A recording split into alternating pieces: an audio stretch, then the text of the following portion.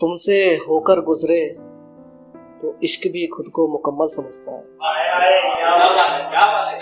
तुमसे होकर गुजरे तो इश्क भी खुद को मुकम्मल समझता है और एक तुम नादा हो जो खुद को गमजदा समझ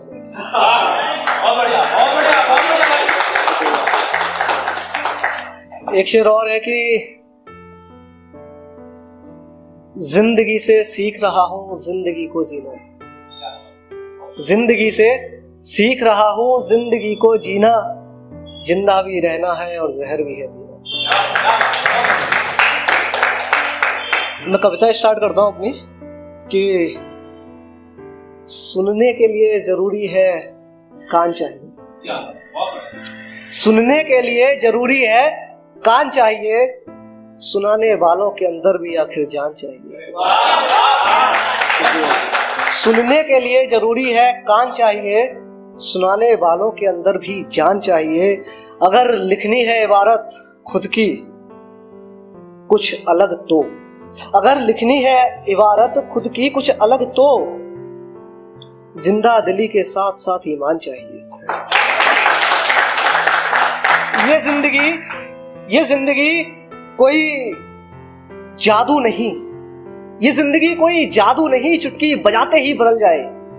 ये ज़िंदगी कोई जादू नहीं, चुटकी बजाते ही बदल जाए।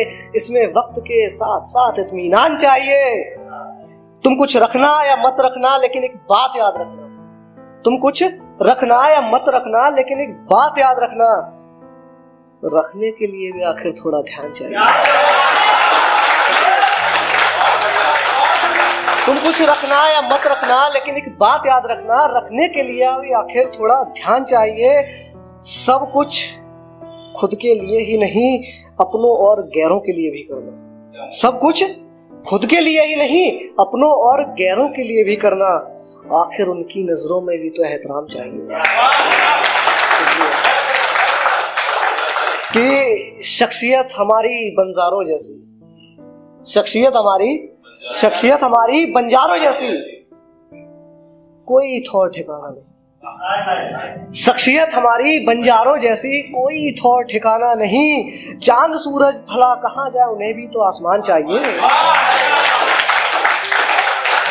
शुक्रिया। कि जद्दोजहद जीने की हर इंसान करता है, कल के लिए।